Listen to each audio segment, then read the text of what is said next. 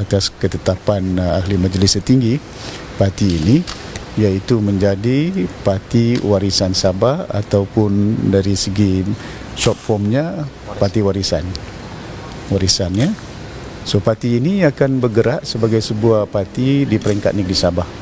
Dan dia merupakan sebuah parti berdasarkan dengan berbagai kaum. Is a multiracial party ya dan uh, dia akan uh, logo pun dah cuma kita akan daftarkan ke Suruhan Suruhanjaya Pilihan Raya iaitu mengikut peraturan this is the logo of our party. We look into that. What is important, we just get our license here. So I think we need to work. What is important, the people in Sabah. It's not the party that we need to unite, but the people need to be united. Yes. I think it's more important than anything else.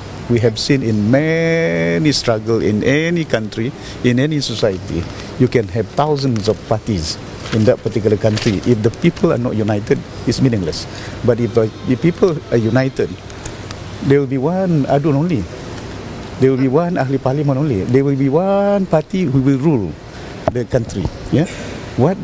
How do you realize that? You can realize that if the people are united, backing them, vote for them. Uh, Danushi, how, you, uh, how, how is your new party going to work with uh, Harapan? Do you have any? Well, we look into all. What is important for us is that to ensure that we want to change the government.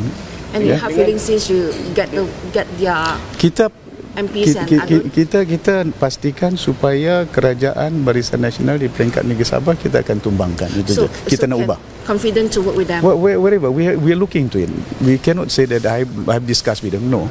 But what is important, uh, we want to tell all Malaysians and Sabahan in particular, yang penting kita ubah Sabah.